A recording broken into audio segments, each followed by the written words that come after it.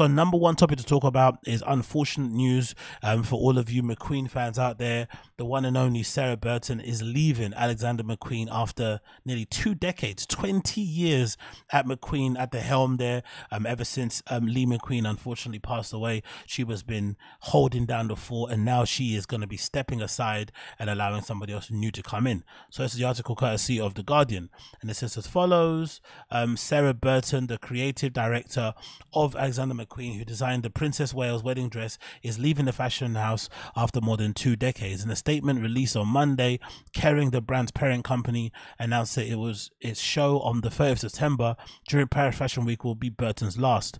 We would like to express immense gratitude to Sarah for writing such an important chapter in the history of Alexander McQueen um, how sorry um, Sarah's contribution over the past 26 years will be an indelible mark, will leave an indelible mark, sorry, and um, what's that word called? What's that person called? Gian Gianfilippo, Gianfilippo Testa, and Alexander McQueen, chief executive. Kering said Burton's successor would be announced in due course. The Macclesfield-born designer first joined the brand in 1996 as a permanent year um, on the placement year, sorry, while studying at St Martin's in London. She returned after graduation just two years after. In 2000, was named head women's designer. After the death of the brand founder Lee Alexander McQueen in 2010, she was named the successor and charged with continuing his legacy. A year later, Burton shot to international fame when she revealed that she was designer behind the Princess of Wales wedding dress, as you can see there in the picture. At the time, the, the Clarence House said that they had chosen the British brand for the beauty of the craftsmanship. Burton described the process of creating the lace gown complete with an eight foot train as an experience of a lifetime. She has remained the princess's designer of choice for events, including a wedding at the Duke of Duchess of Sussex in 2018 and a funeral, of Queen Elizabeth II in 2022. In 2012, Burton was awarded the Order of the British Empire, OBE, for her services to the British fashion industry. Her departure was announced amid a broader reconstruction um, at Kering, which also owns Gucci, Balenciaga, Saint Laurent, and Bottega Veneta. McQueen, who founded the label in 1992, um, sold majority stake to the Gucci Group and now merged with Kering in 2001. The French conglomerate, founded by Francois Henri Benoit or Benu, however you fucking say his name, is attempting a major transformation in order to revive sales as its star label Gucci, given new direction of the luxury group in recent years, has lagged behind LVMH, its biggest rival, which owns Louis Vuitton. In November 2022, announced Angelo Michele was relinquishing his role as creative director. Um, Sabato De Sarno, his successor, will make his debut of the brand next week during Milan Fashion Week, which would be fucking awesome. There's also a reshuffle in management level. This month, Marco Bizzarri will step down as chief executive of Gucci, while the group has appointed Maureen Chiquette or Coquette or Chiquette as a former um, chief executive of Chanel to its board of directors and named Francesca Bellettini as a chief executive at Saint Laurent and the head of the group portfolio brands. Last week, it was revealed that Benoit or Benoit um, will take the controlling stake of the creative arts agency CAA, the Hollywood Talent Agency, which represents A-list uh, um, actors including Brad Pitt, Salma Hayek, and Benoit's wife. Um, Benoit acquired CAA for seven billion through the Benoit Family Investment Fund, um, Artemis, which owns forty-two percent stake in Kering. The venture marks a new direction for Benoit, who spent most of his past decade building a forty billion dollar profile portfolio, sorry, focused on luxury. So, first things first, it's amazing that Sarah Burton is going to get an actual amazing goodbye. I feel like, for whatever reason, I feel like so obviously sometimes when designers are at houses and there's you know bad behavior involved there's fraud there's whatever then i understand where they do the whole immediate effect you know no big statement and they just let the person just kind of disappear into the shadows. But i think when somebody's been at a house for as long as um um, Sarah Burton has been at McQueen, you sort of deserve a good sending off. And one of the things that kind of gutted me about the Gucci story with Alessandro Michele is that he never got that sign off. I don't really know what that was about. I always felt like he did a really good job at Gucci. Yes, towards the end, it was getting a little bit, you know, a little bit stale. It was getting a little bit repetitive and boring. But I still felt like he did enough to bring Gucci back into the cultural zeitgeist to make it a quote unquote trendy brand once again. And he deserved a good send off, which he never really got. He kind of disappeared into the night um, in between seasons, didn't really get a send off, no flowers at the end of the runway, no tears, no nothing. He just kind of showed his last collection and it was kind of over. At least um, Sarah Burton will get that. Um, she's kind of a bit press shy, really, for the most part. Um, she doesn't seem like someone going to really bask in all that attention, but it's still nice to be acknowledged, to have your flowers, and for all the amazing work that you've done. So I'm really glad that's going to be happening. But another part of me is also thinking it's about time. 20 years at a label um, or a house like McQueen is probably long enough. Um, if you want to be innovative, if you want to be kind of forward thinking, if you want to be fresh, you kind of need fresh talent to kind of step into the fold. And no better person as a fresh talent who's now free, having recently stepped down from their role at Supreme, get Tremaine Emory involved. Make Tremaine Emory the head of Alexander McQueen, right, to bring it back into the modern 21st century. And then you'll see stuff change, right? Or you can maybe hire Flipping Future, who's now the creative director of some capsule thing at Lanvin, right? Get him involved. Um, who else is involved? Maybe you can get Yoon from Ambush. Maybe Yoon from Ambush can take over. Imagine, imagine how much Twitter, sorry, fashion Twitter would break down if someone like a Yoon Ambush got the job or if they gave the job to like I don't know Justin Saunders from JJJJound.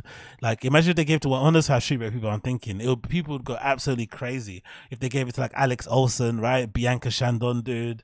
Um, they gave I'm trying to think of some streetwear guys who could have it because Heron Preston can't take it now because he's obviously at H and M. But I wonder if, if they're gonna go the streetwear route and try and get somebody who's kind of cool and in the know. Maybe they might try tap fucking Mowalola or something, right? Or Mowalola, however you pronounce her name. I do apologize. Or another one is a good maybe addition here. They go the fashion route and instead of trying to hire somebody within Sarah Burton's design team, you just go fresh and you kind of take a nod back to the legacy of Lee McQueen and you tap in some kids from fucking St. Martin's and you don't really have it be like a main person. You have it like be like a collective. So there's no real face to it. And you just start churning out the designs like that, like how Margiela was after Margiela left and before, what's his face? Um, John Galliano stepped in where it's sort of like a collective, um, or even how it is now with Gucci, the Gucci studio are sort of designing the runway collections. I'm sure they could do it if you tapped in with some kids from St. Martin's, um, on the on the BA course, on the MA course, and you got them to be involved in it. That would be a pretty sick little role. And maybe every year you have one spot open for recent graduates to kind of join the design team. It'd make it really popping, and it would turn London. And, and then again, you you return the shows back to London. Like that would be flipping crazy. Like the Enzo McQueen shows back in, during London The fashion Week, um, you know, spearheaded by a collective of of kids who recently graduated from flipping St. Martin's and shit, or other fashion schools across the UK. Maybe you select like one from each of the best ones, one from St. Martin's, one from Middlesex, one from whatever, right? That would be fucking sick. I'd fucking love that. Most like it's not gonna happen. They're gonna probably pick someone within her team, I'm assuming, or maybe somebody that's in the um, behind the scenes that I'm not really too aware of. Maybe you have to be a little bit more balls deep in the industry to sort of know these people. Um, but I would like to see something like along those kind of lines because I know fashion Twitter is going to be angry if they get someone from streetwear because you know fashion Twitter people hate the streetwear guys. Even though the streetwear guys they sell a lot, um, they're clearly popular, um, and you know they clearly have a handle on the cultural zeitgeist, got their finger on a button, they're able to go viral, all that good stuff that you know cheeky executives and board members like because it makes them money. But I think artistic because I think McQueen you can't it can't just be fully a commerce thing. It has to be some level of artistry and love and whatever else included. So hopefully hopefully we see that and they do end up hiring somebody that's probably fit for the role. But again, don't hold your breath because it took them a long time to make the change with um, Sarah Burton. So I don't, you know, think they're gonna finally decide to make sweeping changes, um, big ones that I would like to see anyway, um, going forward now that she's sort of stepped away.